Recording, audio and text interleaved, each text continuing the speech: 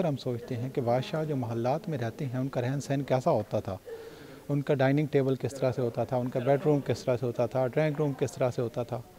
तो आज इसी चीज़ को देखने के लिए मैं आया नेपोलियन के अपार्टमेंट्स में। नेपोलियन के अपार्टमेंट्स जो कि मौजूद हैं लूब म्यूज़ियम पेरिस में।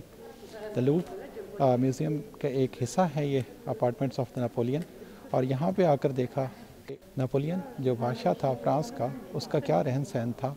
और उसके डिफरेंट इस्तेमाल की चीज़ें आर्टिफैक्ट्स यहाँ पर मौजूद हैं, यहाँ पर सेव की गई हैं प्रिजर्व्ड हैं, यहाँ पर सेव की गई हैं।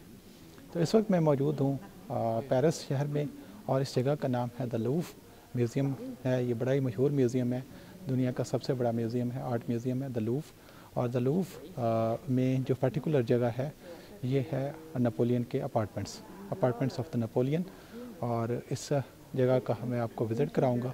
और हम देखेंगे कि किस तरह से बादशाहों का रहन सहन किस तरह से था।